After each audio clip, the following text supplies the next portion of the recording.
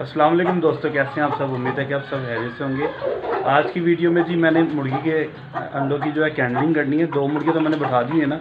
एक उससे पहले एक मुर्गी बैठाई थी, उसकी आज अंडों की कैंडलिंग करेंगे। चलते हैं वीडियो की तरफ़। यार, कल मैंने इधर मुर्गियाँ दो अंडों पर बैठाई थी, एक ऑलरेडी पहले से साइड पर बैठी हुई है। तो ये सीधा धूप पा रही है, सुबह गई। तो ये टाइम आगे अभी तक धूप नहीं गई। आगे मज़ीद इक्कीस दिन मुर्गियों ने इधर ही बैठना है। अंडों पे ना तो गर्मी से तो बुरा हाल हो जाए इनका। तो मैं ये सोच रहा हूँ इनको यहाँ से उठाऊँ और इधर शिफ्ट कर दूँ। फाइनली जी, दोनों मुर्गियाँ यहाँ से उठा के मैंने इधर इनके क्रेट शिफ्ट कर दिए अब ये दाना खा लेंगी। तो हेड से फिर इनको पानी भी पी लें, फिर दोबारा इनको इसके ऊपर बैठाता हूँ। तो माशाल्लाह से जी, अब अंडों पे आकर बैठ गई हैं। तो यहाँ पे बेस्ट है यार। यहाँ पे धूप नहीं पड़ती। उधर सीधा धूप पड़ रही थी। तो वजह ने मैंने उठा के ना इधर शिफ्ट कर दिया। इससे ये कि आराम से उनसे बैठ रहेंगे खा पी के बैठ गई यहाँ पे धूप नहीं सीधा पड़ेगी। दो मुर्गियों से शिफ्ट कर दिया ना तो ये वाली अब एक यहीं पर ये साइड पे इधर धूप नहीं इतनी आती। आज इसकी कैंडलिंग भी करेंगे। इन तो उम्मीद है कि इन सब बच्चे होंगे। ये माशाल्लाह से जी, इसमें भी बच्चा बन रहा है। माशाल्लाह जी, माशाल्लाह, इसमें भी बन रहा है। अल्हम्दुलिल्लाह। शुक्र है जी, अल्लाह का, तकरीबन सभी अंडों में बच्चे बन रही हैं, देखिए।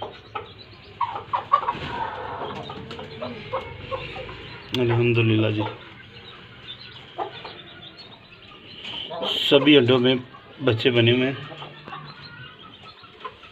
ने सवाल किया था कि कैसे पता चलता है अंडे में बच्चा बन रहा कि नहीं बना? जैसे ही मुर्गी को बढ़ाए दस दिन गुजरे तो आपने जो है मुर्गी को खा के तो उसका अंडा चेक करने का तरीका ये है जी आप उसको अंधेरे में रख के यूँ करें। ये देखें कैब बना नज़र आ रहा है आपको? बाकी ब्लैक है। इट्स मीनिंग इसमें बच्चा बन रहा है। ये दस दिन से ऊपर हो चुकी हैं। तो माशाल्लाह अलहमदिल्ला वैसे मैंने चेक किए सभी अंडे में बच्चे बन गए हुए हैं। तो इससे पता चलता है ये कैंडिंग करने का ये फ़ायदा होता है, आपको पता लग जाता है मुर्गी के कितने अंडों में बच्चे बन रहे हैं, जो वैसे बिल्कुल खाली हों, वो उठा के साइड पे कर देंगे क्योंकि उसका फ़ायदा कोई नहीं है।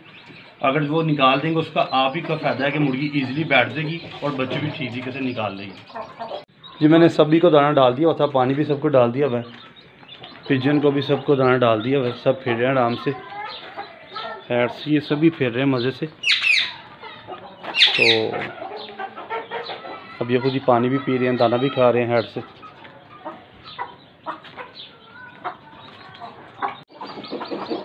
ये देखिए जी मुर्गी, माशाल्लाह बाकी मुर्गी अंडे दे रही हैं। तो ये देखो सानिया, अंडा।